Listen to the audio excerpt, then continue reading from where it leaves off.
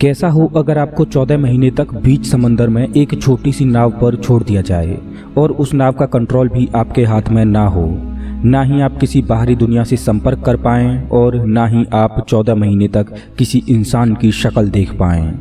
ना ही आपके सर के ऊपर छत हो और ना ही सोने के लिए समतल ज़मीन। ना ही खाने के लिए खाना हो और ना ही पीने के लिए पानी। हो तो सिर्फ़ एक चीज़ दूर तक फैला हुआ तूफानों से भरा नीला समंदर।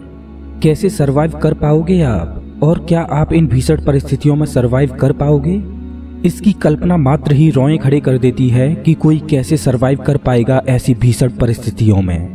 लेकिन इस वीडियो में हम जानेंगे एक ऐसे व्यक्ति के बारे में जो अनजाने में पैसिफिक ओशियन में खो गया और उसे ना चाहते हुए भी ऐसी परिस्थितियों का सामना करना पड़ा। आखिर क्या है सेल्वाडोर एलवरंगा की कहानी?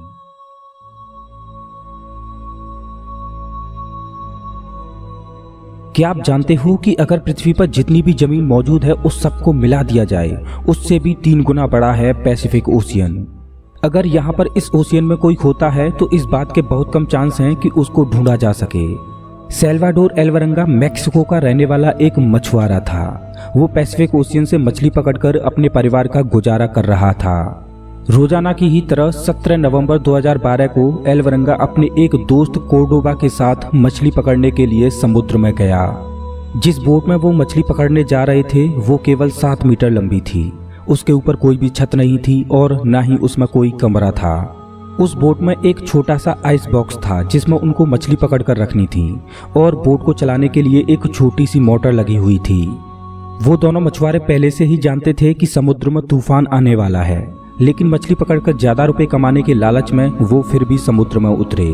उन्होंने रिस्क लिया और वो किनारे से 120 किलोमीटर दूर पैसिफिक ओशियन की ओर बढ़े।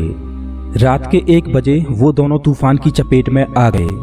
तूफ़ान की वजह से उन्होंने मछली पकड़ने के लिए जो जाल बिछाए थे, वो काट दिए और समुद्र में ही छोड़ दिए और वो बोट को किनारे की तरफ़ दौड़ाने लगे। छह घंटों तक उन्होंने लगातार बोट को किनारे की ओर भगाया और वो किनारे से महज 24 किलोमीटर दूर थे और उन्हें ज़मीन पर मौजूद पहाड़ों के शिखर दिखाई दे रहे थे।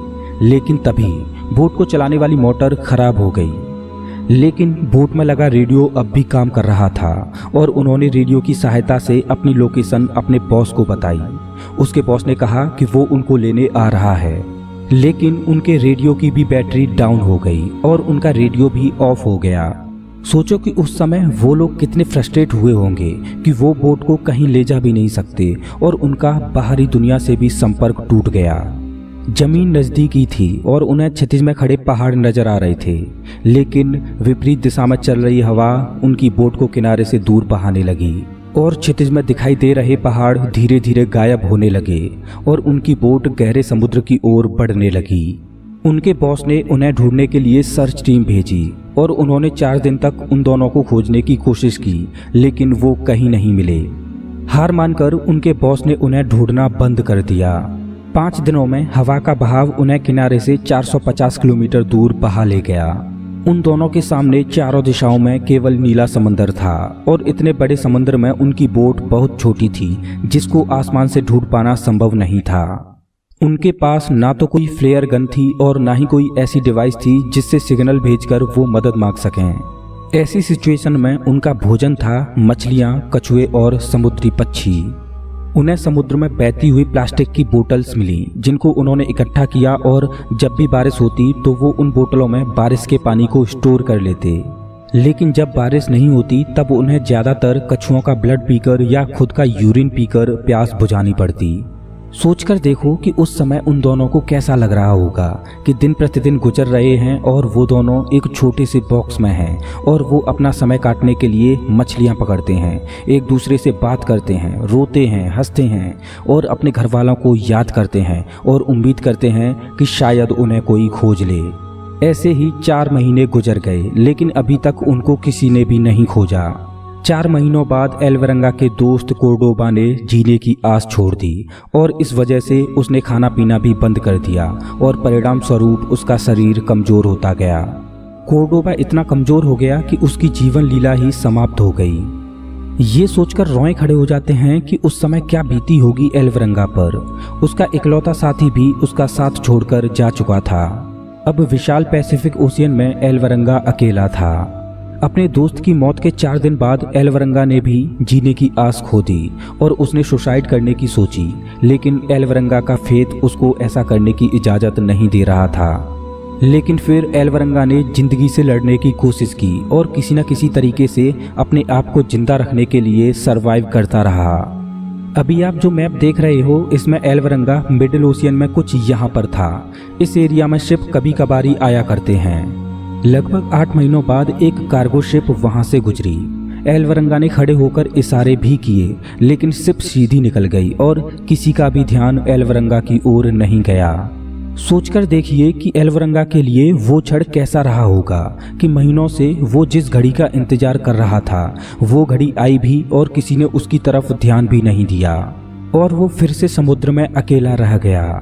कितना फ्रस्ट्रेशन वाला समय रहा होगा उसके लिए वो। ग्यारह महीनों में एलवरंगा अपनी छोटी सी बोट में 8000 किलोमीटर ट्रेवल कर चुका था और इस जर्नी में उसने कड़ाके की धूप और तूफानों का सामना किया।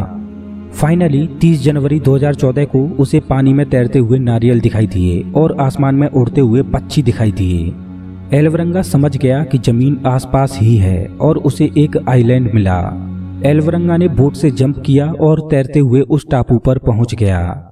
438 दिनों तक पानी में रहने के बाद उसे ज़मीन पर रहने का सौभाग्य प्राप्त हुआ। उस टापू पर उसे एक घर नज़र आया और उसने घर का दरवाज़ा नॉक किया। ये लम्हा एलवरंगा के लिए सबसे खूबसूरत लम्हों में से एक था, जिसमें उसकी इतने महीनों बाद किसी इंसान से मुलाकात हुई। वो टापू समुद्र के बीचों बीच था। अगर वो उस टापू को भी मिस कर देता तो आगे उसको 5000 किलोमीटर के बाद ही ज़मीन नशीब हो पाती और उसको 240 दिन और लग जाते वहाँ तक पहुँचने में। बाद में एलवरंगा अपने घर आया और उसने अपनी इस जर्नी की किताब लिखी। जाने अनजाने में एलवरंगा ने समुद्र में 438 दिनों तक रहने का एक ऐसा रिकॉर्ड बना दिया, जिसको कोई भी इंसान तोड़ना नहीं चाहेगा। एलवरंगा की इस कहानी से हमें बहुत बड़ी सीख मिलती है कि हमें कभी भी आश नहीं छोड़नी चाहिए। भले ही मंजिल कितनी ही दूर क्यों ना हो, लेकिन धीरे धीरे कदम बढ़ाने से वो एक दिन मिल ही जाती है। अगर एलवरंगा के उस दोस्त ने आश नहीं छोड़ी होती तो शायद वो भी आज ज़िंदा होता। दोस्तों, अगर आपको ये वीडियो पसंद आया हो तो लाइक करें और ऐसे ही मज़ेदार वीडियोज़ के लिए चैनल को सब्सक्राइब करें। साथ ही बेल आइकन दबाएँ।